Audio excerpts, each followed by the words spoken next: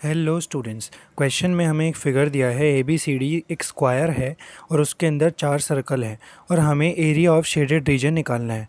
तो आइए देखते हैं। उसके लिए क्या करेंगे? सबसे पहले हम area of A B C D square निकाल लेंगे, जो कि होगा साइड इंटू साइड साइड की लेंथ है फोर्टीन तो होगा फोर्टीन इंटू फोर्टीन यानी कि one ninety six centimetre square अब इसके बाद हम निकाल लेंगे एरिया ऑफ़ फोर सर्कल क्योंकि शेडेड रीजन निकालने के लिए हमें पूरे स्क्वायर में से चार सर्कल का एरिया माइनस करना है। तो इसलिए हम चार सर्कल का एरिया निकालेंगे जो होगा four into pi R square radius इसमें हो जाएगा सेवन बाय टू ध्यान से देखिए फोर्टीन का आधा और उसका भी आधा है रेडियस सर्कल का।